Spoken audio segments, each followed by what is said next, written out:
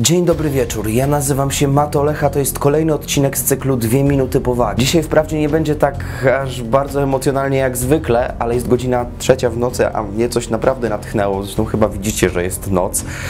I chciałem wam coś bardzo ważnego przekazać, coś na co wpadłem całkowicie niedawno i to jest dla mnie tak ważne, że aż muszę się z wami z tym podzielić. Cały czas w swoim życiu realizujemy jakieś plany i uczymy się czegoś, przez co mamy bagaż doświadczeń. Powiem Wam szczerze, że zauważyłem coś takiego u moich znajomych, że gdy mówię im, słuchaj, zróbmy coś, jest fajny projekt, pomóżmy albo dzieciakom, albo na przykład psom w schronisku, cokolwiek. Znajomi mi mówią, że to jest bez sensu, że to się nie uda, że po co. W momencie, gdy powiedziałem, że będę nagrywał program, który będzie wychodził o godzinie 6 rano codziennie, to nie usłyszałem, tak super stary, rób to! Tylko usłyszałem, nie, stary, znudzi ci się to szybko. Zobaczcie, co robimy.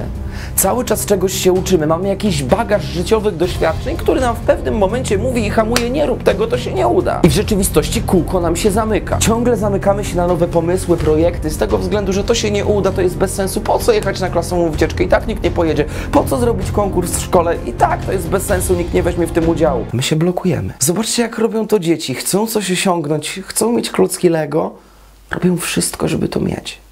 A my? A my się blokujemy, bo się nie uda. I tak sobie myślę, że mam podobnie. W pewnym momencie zacząłem się blokować na każdy nowy projekt, na każdy nowy pomysł, mówiąc nie, nie uda się, po co? Bez sensu. Bo się nie uda. I musiałem znaleźć w sobie dziecko. I wystarczyła tylko jedna decyzja, żeby zmieniać i kreować rzeczywistość wokół siebie. Zobaczcie, gdy uruchamiałem fan maila dla psiaka w trakcie wakacji, przez pierwsze dwa tygodnie bałem się, że żadna paczka nie przyjdzie do schroniska i nic faktycznie przez pierwsze dwa tygodnie nie było. I wystarczyło znaleźć w sobie dzieciaka.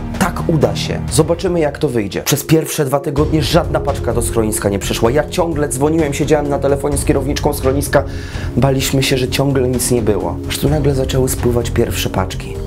Pierwsza, druga, szesnasta, trzydziesta druga, czterdziesta, sześćdziesiąta. Nagle pojawiła się firma Gland Czekolada, która przekazała prawie tonę karmy. Potem pojawiła się firma CDP, która powiedziała też damy karmę dla psów. I znalazłem w sobie dziecko. Udało się.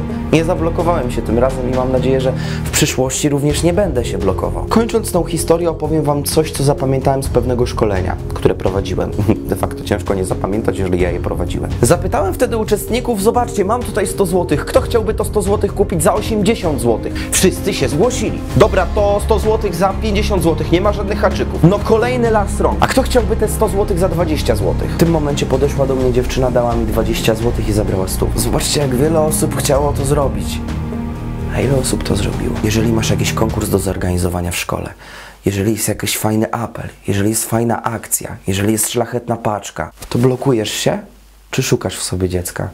Bo ja osobiście w tej chwili wolałbym znaleźć w sobie dziecko.